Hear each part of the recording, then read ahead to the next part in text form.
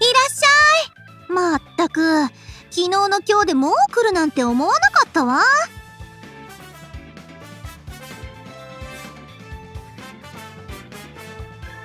ダメとは言ってないでしょ。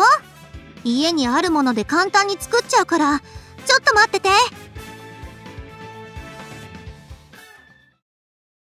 お待たせ。一緒に食べましょう。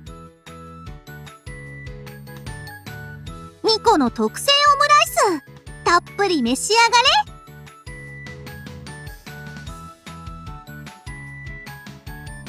大事なのは相手を思うこと。どうやったら美味しく食べてもらえるか。どうしたら元気になってもらえるか。想像するの。ニコはご飯を美味しそうに食べる人が好きよ。あなたは合格ね。ニコのハートを受け取ってくれて。ありがとうニコ。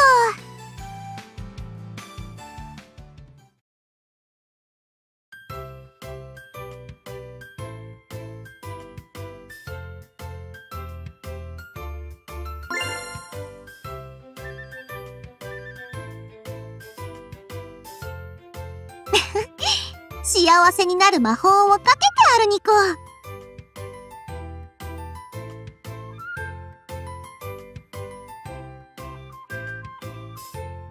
ふふん。またニコの魅力が一つ明らかになったわね。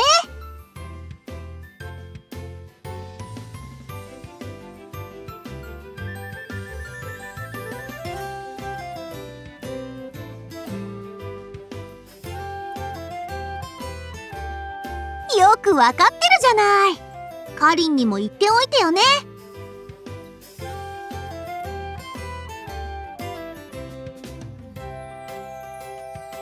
ふっふっふお料理で相手の胃袋を掴んでしまえばこっちのもんね。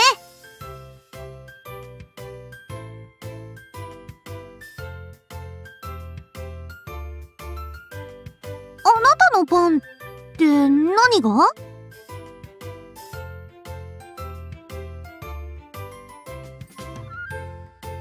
え？うちで作るの？仕方ないわね。じゃあニコも手伝ってあげる。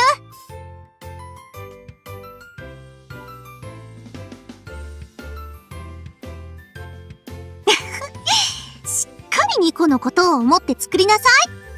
たまにはこういうのもいいかもね